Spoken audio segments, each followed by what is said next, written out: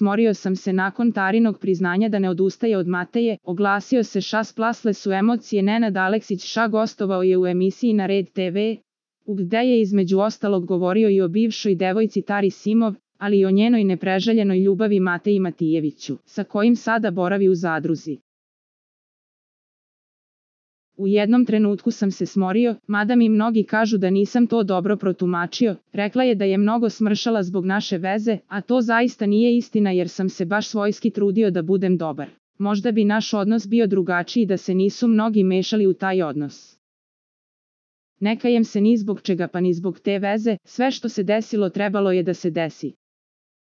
Tara je mlada i lako pada pod uticaj drugih ljudi, treba da nastavi da gleda svoj život.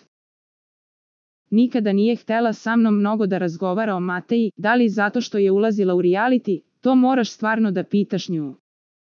Mnogo sam toga uradio za nju, neki nisu ni upola, ali uvek bira njih, ne znam zašto je to tako. Na pitanje da li i dalje voli Taru, reper je rekao sledeće, gledaj, pitanje na koje ne mogu da dam konkretan odgovor.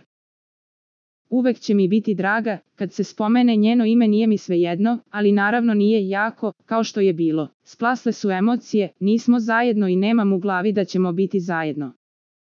Reper je i prvi put javno progovorio o Mateji Matijeviću za koga je Tara rekla da je njena najveća ljubav.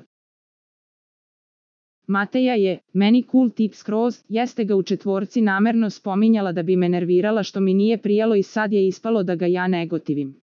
Nisam ga poznavao, ali sam video da je lep, kulturan i vaspitan dečko. Vidi se da ne želi neku priču sa njom, ali to je reality nikad se ne zna. Mogu njemu da se probude neke emocije, a možda se nikada ne probude.